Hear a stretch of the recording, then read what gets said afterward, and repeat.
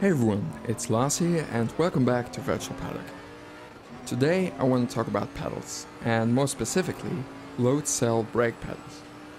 I've seen quite a few times that someone asks about upgrading their gear, like going from Logitech wheel to a Fanatec, but then getting replies saying that pedals actually make much more of a difference, and specifically recommending a load cell.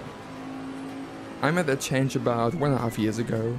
I went from my Logitech G29 pedals to a set of Fanatec CSL Elite LC, and I figured I'd do a video just to try to help those who might be interested in getting a load cell pedal set, but don't quite know what to expect. So, let's go. First of all, what is a load cell? Technically speaking, it's a transducer, basically an energy converter. So it measures the physical load that you put on it and then puts out an electrical signal directly proportional to that. And in the context of sim racing, it basically means that you can have a brake that actually reacts to the amount of pressure that you apply to the pedal. And how's that differ from the more entry-level pedals? The pedals that you get with, say, Thrustmaster T150 or Logitech G29, those pedals use potentiometers. So you press the pedal, and that then turns a potentiometer. In other words, it measures the pedal travel. And that's not a bad technology in and of itself. But there are a few problems when it comes to sim racing gear. First of all, they're quite sensitive to wear and to dust, which can lead to the inputs not being registered correctly, and might even detect the signal, even though you're not actually pressing the pedal. And the second problem, which is a bit more subjective, is with feel. A lot of the manufacturers of cheaper gear don't really bother to put any significant resistance in the brake, or if they do, it's not a proper progressive resistance. There are third-party mods to kind of fix that, and Thrustmaster does actually offer a conical brake mod for the T3PA Pro pedals, but then they've also jumped up a step now, and actually offer a set with a load cell. And that leads me around to the main point. What's the benefit of a load cell brake pedal? To me, the main benefit is consistency, which essentially comes down to muscle memory. It's a lot easier for your body to internalize the amount of force that you apply with your leg compared to how much you're moving your foot.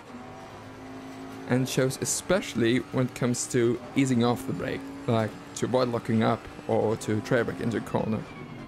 And I've definitely gained a lot more control on the brakes. They're also a lot more adjustable. Pedal travel basically doesn't matter at all. Longer travel, shorter travel, it's all up to you. And you can see in the video that I'm actually using rather short travel. But it's not just the travel. You can also decide how stiff you want the pedal to be. I'm actually using the stiffest elastomers that came with the set. They're good for a maximum load of 90 kilograms, which is also the maximum load of the load cell that comes with the CSL Elite LC pedals. And in the Fanatec software, I've calibrated it to get a full signal at 90%. So in order to get full brake pressure in game, have to apply 81 kilograms of force on the pedal. But if I wanted to, I could easily set it to less. And it's great to be able to set it just the way you want it. So there certainly are a lot of benefits. The only downsides I can think of are that, for one, does feel a bit odd at first, but you actually get used to it pretty quickly. But more importantly, you do generally need a good rig to mount them, which I actually don't have really. I'm using a Playseat Challenge, which doesn't allow me to hard mount the pedals. So I used a lot of zip ties combined with a sheet of plywood I put under the pedal frame and I screwed the pedal base to that sheet with the screws going just outside of the pedal frame. It's tight enough to help hold in place. It does work, but it's far from perfect, to be honest. So I hope that was helpful to you. If you've got any more questions, just ask me and I'll try my best to answer them. Anyway, thanks for watching. I hope you enjoyed the video. So, till next time, use the downforce and see you soon.